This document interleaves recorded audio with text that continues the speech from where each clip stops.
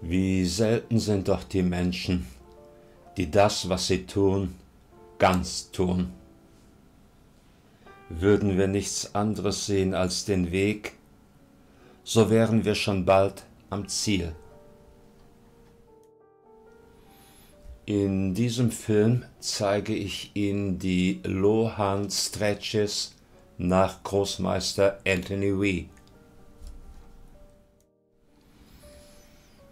Weil die Energie der Schöpfung ohne Anfang und ohne Ende ist, deshalb soll auch der Seele Liebe endlos sein. Und würde der Mensch tausend Jahre leben, seine Liebe könnte immer noch wachsen. So wie man es am Feuer erkennen kann. Solange es Holz hat, solange brennt es. Und je nachdem, wie groß das Feuer ist und wie stark der Wind weht, danach wird auch das Feuer wachsen. Und so können wir unter dem Feuer die Liebe verstehen, jedenfalls im Hinblick auf das Wirken des Heiligen Geistes in der Seele und unter dem Wind den Heiligen Geist. Und je größer die Liebe in der Seele ist, und je stärker der Wind weht, spricht der Heilige Geist, umso vollkommener ist das Feuer, jedoch nicht mit einem Male, sondern allmählich durch das Zunehmen der Seele. Denn stände der Mensch mit einem Mal in Brand, das wäre nicht gut für ihn. Darum weht der Heilige Geist allmählich, so dass der Mensch, und sollte er auch tausend Jahre leben, in der Liebe immer noch wachsen kann.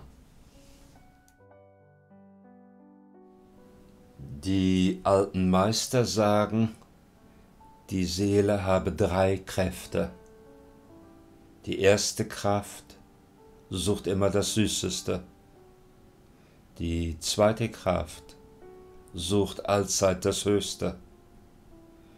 Und die dritte Kraft sucht allzeit das Beste. Und wir sagen, das Beste ist gerade gut genug für uns. Deshalb möchten Elena und ich das Lohan Stretches Qigong mit euch teilen. Alles ist warm und sicher, klar und stabil. Alles ist im Lot.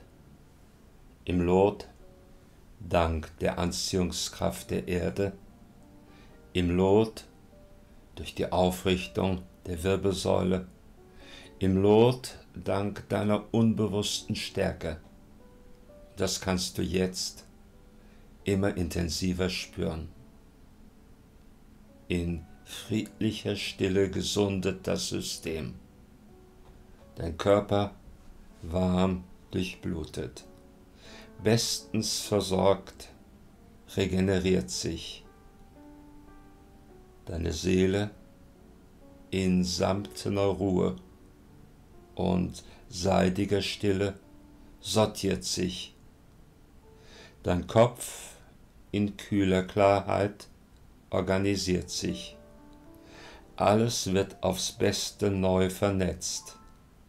Gleichgewicht, Balance und Harmonie bis tief hinein ins Fundament, gut verankert.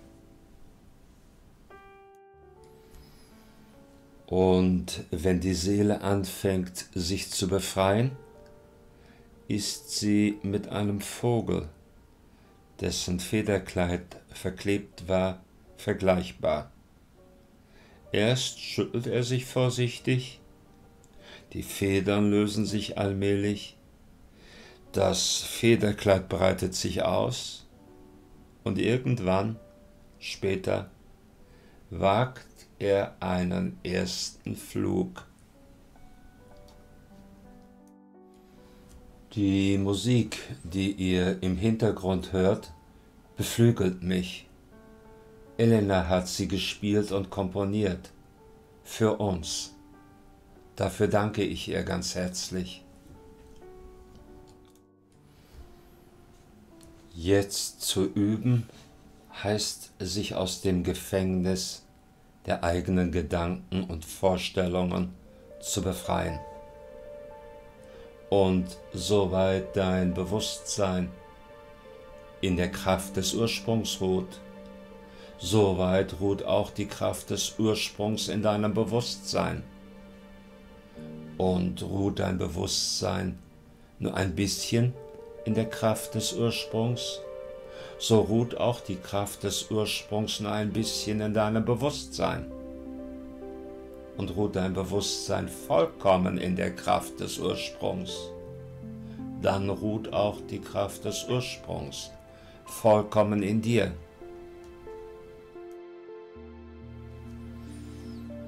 Wenn die Kraft des Ursprungs in mir ist und ich in der Kraft des Ursprungs bin, dann bin ich nicht unbedeutender als sie und sie ist nicht bedeutender als ich.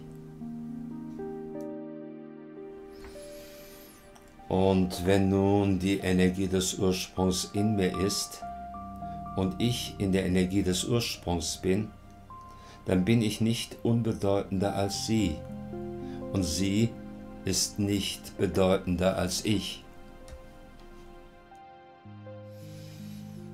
Indem die Evolution sich dem Menschen zugewendet hat, schenkt sie ihm das Sein.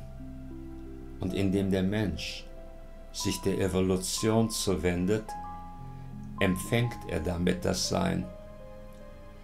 Die menschliche Seele hat ein vernünftiges, erkennendes Sein.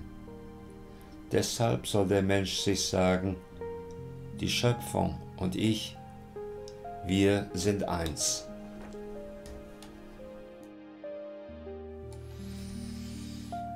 Es gibt eine Kraft, die ist jenseits von Materie. Sie fließt aus dem Geiste und bleibt in dem Geiste und ist ganz und gar geistig. In dieser Kraft ist die Energie der Evolution ohne Unterlass glimmend und brennend durch und durch, mit all ihrem Reichtum, mit all ihrer Süße und all ihrer Wonne. Warum ist nun die Energie des Ursprungs Mensch geworden? Nun deshalb, dass du dich ihr zuwendest und dich von ihr erfassen lässt. Darum sollst du nicht ruhen, bis du nicht das geworden bist, was du von Anbeginn gewesen bist. Schöpfer und Schöpfung sind eins. Die Schöpfung erkennt keinen Unterschied zwischen sich und dem Menschen. Nur wir obliegen dem Irrtum des Getrenntseins.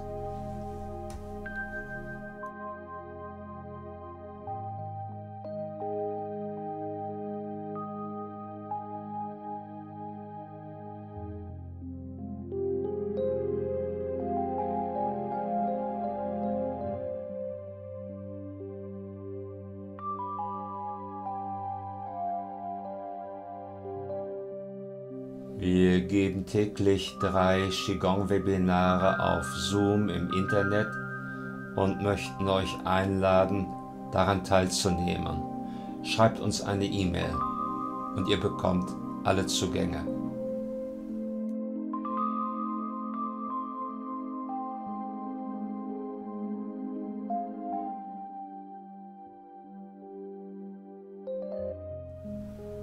Ich kann meiner Ehefrau Elena gar nicht dankbar genug sein für den Einsatz, den sie an meiner Seite liefert,